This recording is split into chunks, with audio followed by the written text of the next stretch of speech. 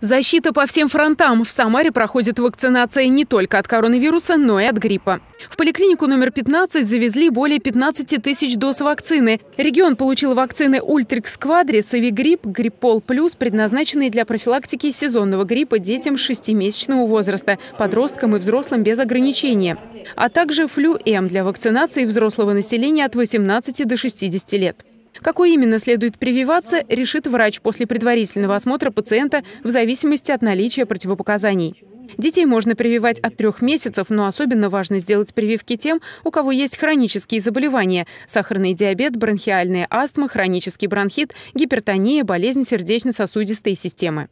На сегодняшний момент в соответствии с постановлением и с методическими рекомендациями Министерства здравоохранения Самарской области и Российской Федерации можно одномоментно вакцинироваться и от гриппа, и от ковида.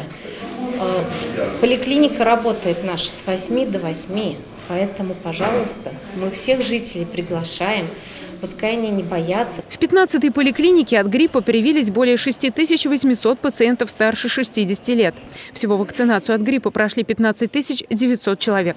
Маломобильных прививают на дому. Для этого нужно позвонить в регистратуру. Медсестра Татьяна Китаева в медицине около 20 лет, но в последнее время все силы бросила на то, чтобы защитить людей от вируса. Работает в процедурном кабинете. Вакцинация по поводу гриппа э, можно делать совместно в день э, вакцинации от ковида, либо через месяц.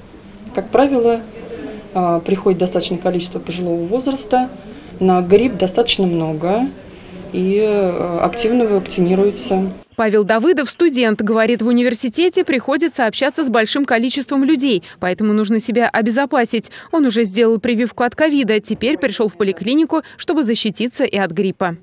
Время такое непростое, следить здоровьем надо. Каждый год мы с семьей ходим, делаем прививку и до сих пор не болели еще гриппом.